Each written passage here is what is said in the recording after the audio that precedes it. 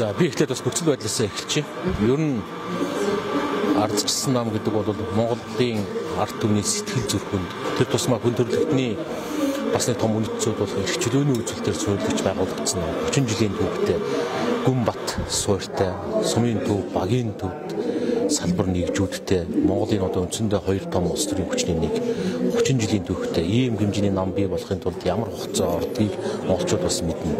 А нөгөө талаас ийм хэмжээний намыг ямархан богино хугацаанд уналт оройтолд оруулж болдгийг бид нар бас харчлаа. Тэгэхээр энэ өөрөө зөвхөн арчсан намын асуудал биш ээ. Энэ бол бас нэгэн тийм Монголын арчлалын, Монголын парламентын, Монголын тусгай тогтнолын асуудал.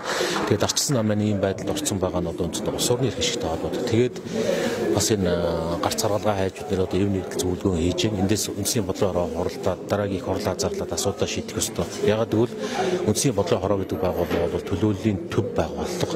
Төлөөлөх хэрэгтэй төв байгууллага нэгэнт намын дарга гэдэг хүн байхгүй учраас төлөөлийн төв байгуулгын шийдвэр гаргаад явах эрхтэй. Тэр тусмаа энэ улсын дээд шүүхийн олоодогийн тогтоол шийдвэрүүд дээр бас 2020 онд арчсан нам сонгуульд орж явах үндэсний болын хороо хүчин төгөлдрөө гэдэг ийм эрх зүйн баримтчууд бас байдаг. Тэгээд энэ зааланд одоо бас нэлээд тийм 200-аад хүн ирсэн байна.